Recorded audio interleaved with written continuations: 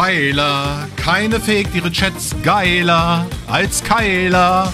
Liebe Leute, es ist wieder gefakte Chat-Nachrichten-Time hier auf diesem Kanal, denn ich habe ein weiteres Beweisstück bekommen. Das ist mir auch schon aufgefallen, aber ich dachte, es ist kein wirkliches Video wert. Aber gut, ich kann ja auch einen kurzen, schnellen Quickie. Ein Quickie kann ja auch mal ganz schön sein, ne, liebe Damen. Please give me cock. Und ich möchte gerne auch von euch mal wissen, ob euch das schon mal jemals äh, vorgekommen ist, was ihr hier in diesem Chatverlauf seht. Wir haben hier einen weiteren Ausschnitt aus ihrem Originalvideo und ich weiß nicht, was hier passiert ist.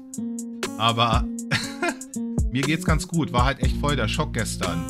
Dann, hey, was los? Bin gerade im Zug. 10.50 Uhr. Kannst du bitte die Story entfernen? Ganz dringend. 10.49 Uhr? Und dann, die nächste Nachricht ist wieder, da ist gerade leider das Scroll-Symbol drüber, irgendwas mit 10.52 Uhr oder sowas.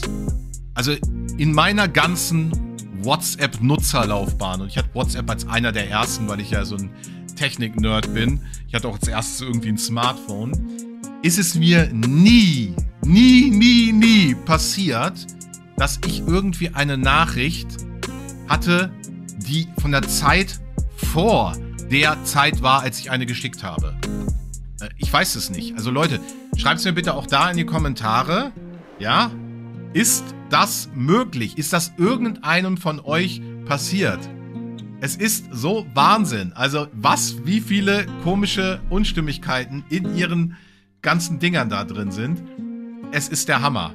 Also Leute, schreibt es mir bitte in die Kommentare. Aber auch hier muss ich sagen, Kyla, keiner... Kyla, Kyla, keiner faked seine WhatsApp nicht recht geiler. Vielleicht ein neuer Mallorca-Hit, ne, für diese Saison, liebe Kyla. Wünsch dir was. Und dann hier nicht vergessen und drück mir die Glocken. Bis zum nächsten Video. Arrivederci.